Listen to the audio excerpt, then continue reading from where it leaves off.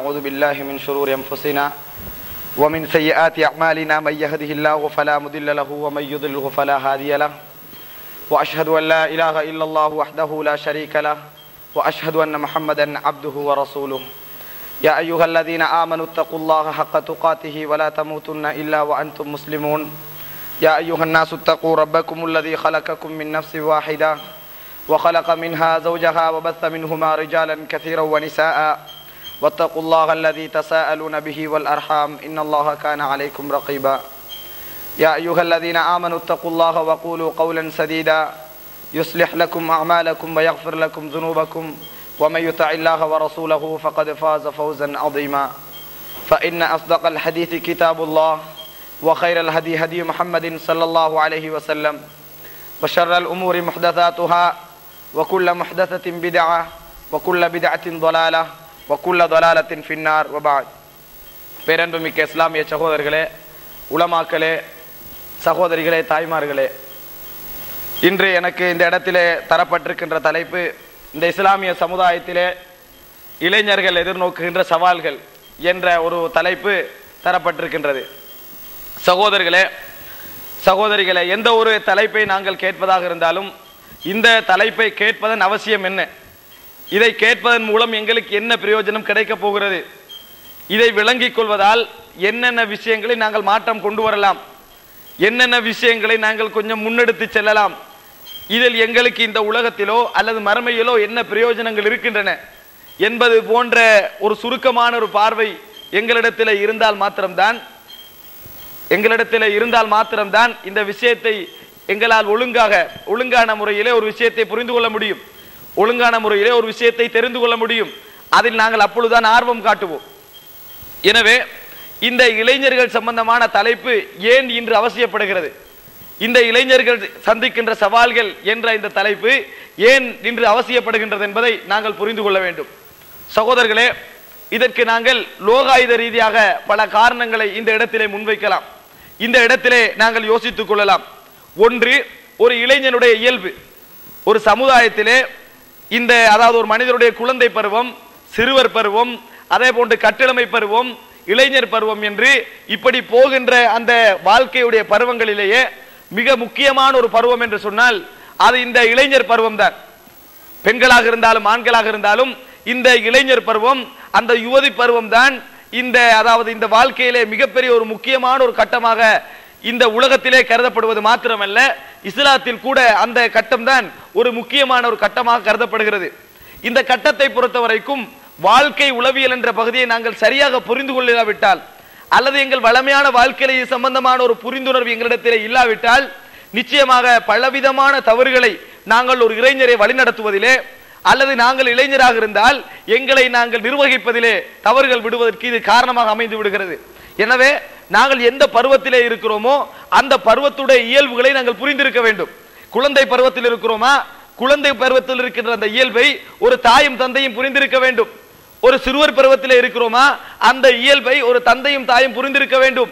ஒரு இளைஞர் பருவத்தில் இருக்கிறோமா? அந்த இளைஞர் தன்னை பற்றி புரிந்திருக்க வேண்டும். அந்த இளைஞரை பற்றி அந்த பெற்றோர்கள் புரிந்திருக்க வேண்டும்.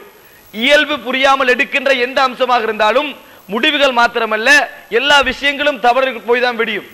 சகோதரர்களே வீட்டிலே ஒரு கணினியை வாங்க போகிறோம் என்றால் கணினி சம்பந்தமாக எந்த அறிவும் இல்லாமல் அதை நிர்வகிக்க போனோம் என்று சொன்னால் அந்த கணினியிலே பல கோளாறு ஏற்படுவதற்கு நிர்வகிக்கின்ற நாங்களே காரணமாக இருப்போம். வேற வெளியே இருந்து வருகின்ற வைரஸுகள் தேவையில்லை. நிர்வகிக்கின்றவரை இதற்கு காரணமாக அமைந்து விடுவார். என்ன காரணம்?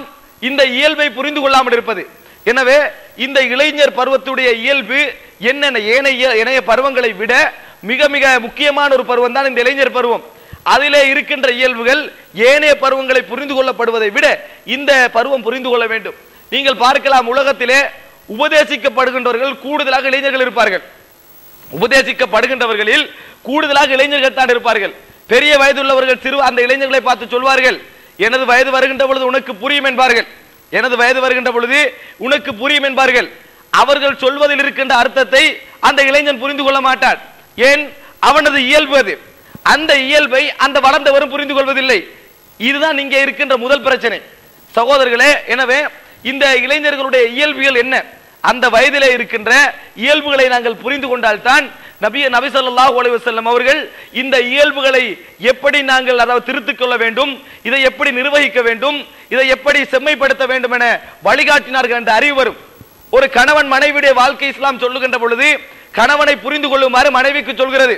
இப்படி எல்லாம் கணவன் நடந்து கொள்வார் என்பதை புரிந்து கொள்ளுமாறு மனைவிக்கு சொல்கிறது. மனைவியை பற்றி கணவனுக்கு புரிந்து கொள்ளுமாறு சொல்கிறது. அப்பொழுதுதான் நூறு விதமான பிரச்சனைகளுக்கும் தீர்வு காண வேண்டும் என்ற சிந்தனை இல்லாமல் போய் போய்விடும். எழுபத்தஞ்சு விதமான பிரச்சனைகளுக்கு தான் உலகத்திலே தீர்வு காண முடியும். இருபத்தஞ்சு விதமான பிரச்சனைகளுக்கு யாராலும் தீர்வு காண முடியாது. அப்படிப்பட்ட பிரச்சனைகளை எப்படி வைக்க வேண்டும்?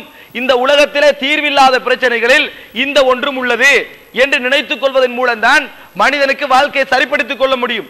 ஒரு மனிதனை தான் நினைக்கின்ற வழியில் நூற்றுக்கு நூறு வீதம் சமைக்க நினைத்தால் ஒரு இளைஞனை சமைக்க நினைத்தால் நிச்சயமாக அந்த வாழ்க்கை நிம்மதியிடாது. எனவே ஒரு இளைஞருடைய இயல்புகளில் திருத்த முடியாத பிரச்சனைகள் என்ன? திருத்த முடிந்த பிரச்சனைகள் என்ன? எப்படி திருத்தலாம் என்ற இயல்புகளை எல்லாம் இந்த இஸ்லாம் சுட்டி காட்டுகிறது எனவே இப்படி ஒரு தலைப்பு இளைஞர்கள் என்றால் என்ன என்று வரைவிலக்கணம் சொல்லுகின்ற தலைப்பல்ல இது. ஒரு இளைஞருடைய இயல்புகள் என்ன? அந்த இயல்புகளால் என்ன தவறுகள் ஏற்படலாம்? அந்த இயல்புகளை செம்மைப்படுத்தினால் இந்த உலகத்துக்கு என்ன நன்மை ஏற்படும்? இப்படி செம்மைப்படுத்துவதும் தவறு வராமல் காப்பதும் எப்படி என்பது நிர்வாகிகளுக்கு இருக்க வேண்டிய ஒரு தன்மை. நிர்வாகிகள் என்றால் பெற்றோர்களை சொல்லுகிறேன். அவரது பொறுப்புக்கு அவரை பொறுப்பு வைத்திருக்கக்கூடிய பொறுப்பாளர்களை சொல்லுகிறேன். சகோதரர்களே சகோதரிகளே எனவே இந்த இடத்திலே நாங்கள் இன்றைய சமுதாயத்திலே இளைஞர்களுடைய இயல்பாக இந்த இளைஞர் உளவியலை நாங்கள் எடுத்து பார்ப்போம் என்று சொன்னால் பலவிதமான விஷயங்களை நாங்கள் கண்டு கொண்டிருக்கிறோம் முதலாவதாக நாங்கள் சொல்வதென்றால் இளைஞர்களிடத்திலே இருக்கின்ற ஒரு விஷயம் சுய தீர்மானம் எதற்கெடுத்தாலும் எந்த பிரச்சனை எடுத்தாலும் ஒரு சுய தீர்மானம் என்ற முடிவுக்கு வருவார்கள். எந்த பிரச்சனை எடுத்துக்கொண்டாலும் உலக பிரச்சனை எடுத்துக்கொண்டாலும் ஒரு விஷயத்தை அணுகின்ற பிரச்சனையாக இருந்தாலும் எப்படிப்பட்ட பிரச்சனையாக இருந்தாலும் அதிலே சுய தீர்வு என்பது இளைஞர்களுக்கு இருக்கின்ற ஒரு இயல்பான விஷயம். எந்த எந்த பிரச்சனை எடுத்தாலும் சுய தீர்வு தான் ஒரு சுய முடிவு எடுப்பது ஒவ்வொரு இளைஞருடைய வாழ்க்கையிலும் இருந்து கொண்டிருப்பதை நாங்கள் காண்கிறோம். ஏதோ ஒரு முக்கியமான ஒரு உபதேசத்தை செய்கிறோம் என்றால் கொஞ்சம் நல்லவராக இருந்தால் ஒரு முறை கேட்பார். இரண்டாவது முறை கேட்பார். மூன்றாவது முறை போதும் நிறுத்தி விடுங்கள். எங்களுக்கு தெரியும் எல்லாம் என்று சொல்லி விடுவார். அதாவது இயல்பிலே கொஞ்சமாவது மார்க்கம் இருந்தால் ஒரு இரண்டு முறை கேட்பார். மூன்றாம் முறை தாங்காது. பொறுக்காது. எங்களுக்கு எல்லாம் தெரியும் நிறுத்தி விடுங்கள் என்பார். என்ன காரணம்? இவருக்கு இன்னொருவர் தன்னை நிர்வகிப்பது பிடிக்காது. தான் சுய முடிவு எடுக்க வேண்டும் சுய தீர்வு எடுக்க வேண்டும் என்ற சிந்தனை யோசித்து எடுப்பதல்ல. இயல்பிலேயே அந்த இளைஞர்களுடைய இயல்பிலேயே இருந்து கொண்டிருக்கின்ற ஒரு அம்சம். இந்த சுய தீர்வு எடுக்கின்ற தன்மை இஸ்லாத்துடைய வழிகாட்டல் மூலம் செம்மைப்படுத்தப்படாவிட்டால் இஸ்லாத்துடைய வழிகாட்டல் மூலம் ஒழுங்குபடுத்தப்படாவிட்டால் இந்த சமுதாயத்திலே ஒரு பாரிய வீழ்ச்சியை என்ன செய்யலாம்? நாங்கள் பார்க்கலாம். சகோதரர்களே இந்த சுய தீர்வென்றது எங்கெல்லாம் பாதிக்கிறது?